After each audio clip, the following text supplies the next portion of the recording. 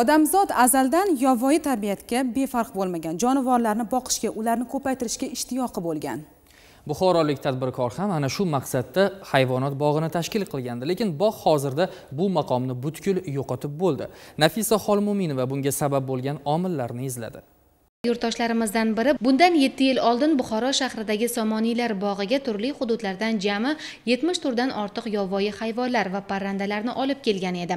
Shu kunga qadar bu yerga viloyatning barcha tuman va shaharlardan o'g'il qizlarimiz mehribonlik uyi tarbiyalanuvchilari ularni tomosha qilish uchun kelib turishardi. Oradan vaqt o'tib ushbu hayvonot bog'i ayanchli ahvolga kela boshladi. O'rganish natijasida hayvonot bog'idagi o'sha hayvonlar e, bugungi kunda o'sha yetarli darajada e, oziq ovqat bilan ta'minlanayotganligi lekin o'sha hayvonot bog'ini e, strukturasidan e, kelib chiqqan holatda yashash sharoiti yetarli darajada emasligi aniqlandi. O'rganishlar davomida mazkur hayvonot bog'ini tashkil qilgan tadbirkor xizmat safari bilan xorijda ekani oydinlashdi va bu yerda faoliyat yuritayotgan mas'ullardan holat yuzasidan izoh so'radik.